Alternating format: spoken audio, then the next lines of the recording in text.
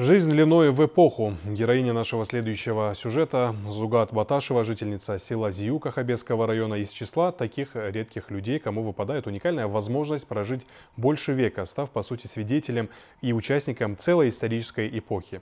К своему возрасту она относится с уважением и охотно делится секретами долголетия. С почтенным старцем встретилась Фатима Даурова. В День пожилых людей ученики Заюковской школы вместе с наставниками пришли в гости к самой возрастной и почетной жительнице аула Зугат Баташевой. В этом году ей исполнилось целых 107 лет. Наша героиня – ровесница Великой Октябрьской революции, и дети с интересом слушали воспоминания ветерана о жизни и юности, пришедшейся на годы военного лихолетия, коллективизации и амбициозных пятилеток страны Советов. Ясное сознание и правильная речь Зугад удивляет молодых ребят и заставляет задуматься о важных жизненных вопросах и вспомнить моменты, связанные с личным. Знаете, я вот вдохновился тем, что увидел сегодня. Эта бабушка знает очень много всего, и она нам рассказала вот советы, которые продлятся на всю жизнь. Вот у нас э, в Сирии, где я жил, Каждый раз, когда мой дедушка ночью просыпался, он всегда просыпается ночью и делает намаз, поклоняется Богу. И он смотрел на Луну и говорил, э, говорил мне, каждый раз, когда я смотрю на Луну, я вспоминаю свою жену. Даже когда она так в старости лет, он ее очень сильно уважает и любит. Эта бабушка, она выглядит очень хорошо. Вот посмотрев на нее, вообще не скажешь, что ей 107. Она э, такая красивая, хрупкая. С малых лет она трудилась на колхозных полях наравне со взрослыми. На просторах этих же полей она возмужала и становилась полноценным работником, который всю жизнь посвятил сельскому хозяйству.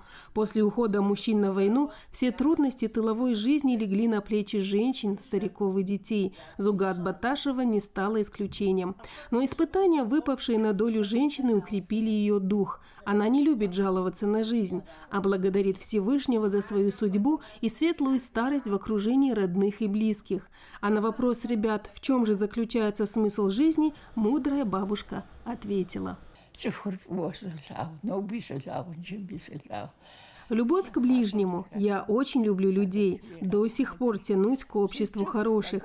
Всевышний дал мне возможность прожить долгую и красивую жизнь, насыщенную разными событиями. Вкус им придавали именно те люди, которые своим теплом, добротой наполняли меня, поддерживали в трудные минуты и в радости, и в горе. Они всегда были рядом, мои родные, моя семья, мои соседи и односельчане. Любите и уважайте друг друга. Вот что самое главное в жизни. Семь лет назад столетний юбилей Зугат Баташевой дружно отметили все жители аула Зиюка, и мы были свидетелями праздничного события. Пожелания кавказского долголетия, крепкого здоровья и бодрости духа, прозвучавшие из уст поздравляющих, воплотились в реальность. Ведь когда слова исходят от чистого сердца со светлыми намерениями, по-другому и быть не может. А сегодня кадры черно-белых фотографий семейного альбома уносят нас во времена юности Зугат Баташевой. Оттуда на нас смотрит молодая красивая девушка, полная надежд на будущее. Впереди у нее вся жизнь. Жизнь длиною больше века. Фатима Даурова, Мумина Тишейрова, Ренат Мука, Вести, Карачаева, Черкесия.